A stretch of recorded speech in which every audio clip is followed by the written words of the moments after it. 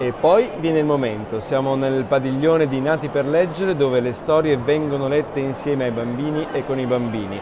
Io racconterò una storia di quello che si aspetta sempre, del presente e del futuro e, e farò scoprire loro come il futuro forse l'abbiamo già vissuto. Spero che i bambini siano pronti perché io sono pronto, è il momento, vado.